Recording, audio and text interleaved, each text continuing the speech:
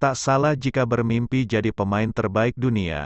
Saya akan terus bekerja keras untuk mencapainya. Tetapi sesuai kemampuan, kami tidak ingin menceritakan impian kami. Kami ingin menunjukkannya.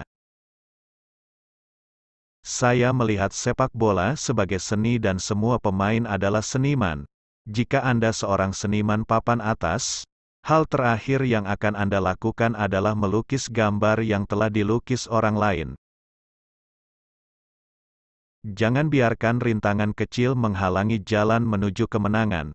Ingatlah bahwa Anda lebih kuat dari tantangan yang dihadapi.